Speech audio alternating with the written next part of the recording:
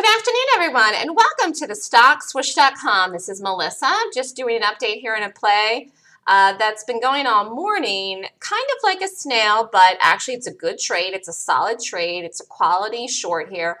I'm in this JCP, and you know, once a certain time of the morning goes by and I'm still in a play, I'm pretty much in it till the close. And I have some things to do today, so here I am. Let's go back over the morning. Actually, let's get back this to the 15 minute. Let's go back over the morning of JCP. So I've been watching this for a long time. Made a call on this a while ago that this would break um, seven dollars and get to seven dollars. It's going to. I don't. I don't know if this does it today. It's twelve fifteen ish. A realistic target on this today though is 750, 730, possibly seven dollars today. But I do think this breaks seven. So you could have shorted this aggressively today out of the gate at 931. I did not do this, but you could have. I saw it. I saw it hit, and almost as soon as I saw it, I quick called it. And eh, this is one of these ones where even if you don't get the exact entry here at 93, you can take it here because the stop is still good. By the time I saw it, it hit 790.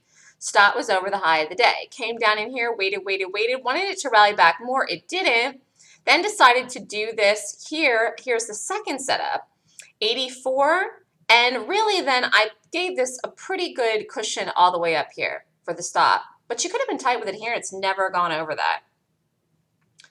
Then it fell on down and for some reason just got held up right in here. But it's broken this already now, this area of 775. Next area it has to break is 770. And again, the target's 750. So this is a nice, easy peasy trade that's had several ads that you could be doing that's working here on the live day. Um, on a day when there wasn't a lot of things to look at here. Mondays are usually the slowest days of the week. So this is a nice trade to be in. It's also hit and triggered on every major time frame. The 15, the 30, the 60, the 5, the 2, the 1, everything. Every major time frame this is hit on, so it's a nice gap. Let's go over the daily chart. So a while back here, I don't remember exactly when I did the video, I'll have to look it up. I did call it JCP would not hold this area and would break it. It hasn't broken it yet, but it's on its way to doing it. It's going to. And Friday had a huge day in this. He had a huge, massive day in this. I actually did this Friday too, but I, uh, you know, didn't hold it all the way down to the dream target. You would have had to held it in the afternoon Friday to do that.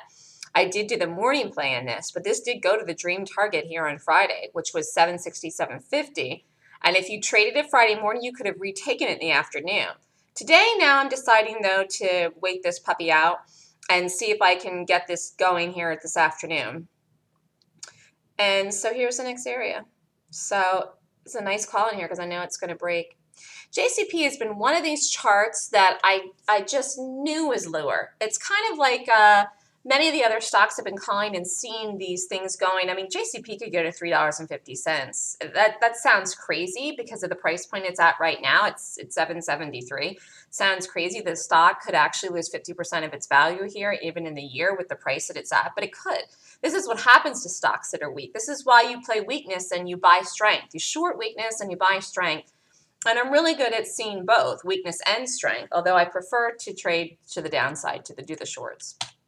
So the ad on this, then if you wanted to do the ad, you could have aggressively in the five minute here, or you could have waited for it to trigger on the 60.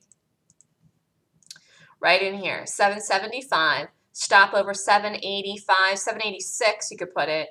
This is a nice trade. I mean, this is actually a 10 cents entry here. Even if this goes only to 750, it's two and a half hours here in a late play, and it's three plus on the original entry because the stop now can, you know, very well be over this area here at 783. Let's look at the 60 minute. Uh, look at this. This is a beautiful chart. Really nice chart. So early yet in the day for this to fall. I have a feeling this falls into the close. It's not doing anything wrong. It's perfectly fine. I'm watching it go on down. We'll see where it goes. I think this falls into 4 o'clock. I think it starts to get mustering up some of the energy in itself, the momentum between 2 to 15-ish, and falls into the close. This is definitely lower. $7 is the target. This is a nice core short, a swing trade to be in. Next target $6 and 520 then $5 and 490 and all the way down. And I, I just have a feeling that JCPenney is going to get into the threes sometime in the next year. It's just one of these stocks that for some reason it, you know, it's getting sold off heavily. And so again, I like to trade based on institutional buying or selling. J.C. Penney couldn't be a better example of this. Institutions did not buy this gap back here when this gapped up here. Oh, look at this breaking. Go, go, go. Come on. Under 70, 70, 70. Hold on. I have to pay attention. No, I did not get under 70 yet, but this is going to right now. Pay attention to what I'm doing here. Uh, what was I saying? Institutions did not buy this gap here. This gapped up. It's a gap up. It's a gap up over resistance. It gapped up. It's a gap up in the 50 period moving, uh, moving average. It gapped up. It gapped up and then it gapped down here and failed and had a big green bar. This is a dollar. And then gapped up again and held and held and held in the 8 and held in the 20 and held up here. And actually held in the 50 on Friday, but was a short. So, you know, institutions, however, did not make this go up in those gaps. The institutions are selling out of this, or basically this is being shorted now too. So it's a nice pressurized gap where we're following the institutions that are making the gap and continuing it down to their downside. If this had had something where it would have looked like institutions were buying JCP, then I wouldn't be in a short now. But the chart is a beautiful short. It's been a nice short. And I had a great eye to see that this would break in here. I put this on a video. If anybody watched it from, you know, a month ago, that this would eventually do it. I can see these things so well because I'm very good at reading price. I'm very good at reading institutions and what they're doing in positions and stocks. So feel free to get in this if you want to yet today. 86 would have to be the stop. If you think this is something that you would want to do, um, there's nothing wrong with this here yet this afternoon. Even the stop in this is still nice and squishy. This could break 750 today. Next target is 732, 728, and then and then 704 and 7 bucks. This is Melissa with the stockswoosh.com. Have a great day, everybody. We'll see how JCP ends up today. Nice, relaxing, beautiful day. Uh, really nice day here in New York. Just in my JCP doing some paperwork. Up money in this already, and there's not doing anything wrong. So have a wonderful day, everybody. The next GAP course is April 26th and 27th. If you'd like more information, feel free to email me at melissa at thestockswoosh.com.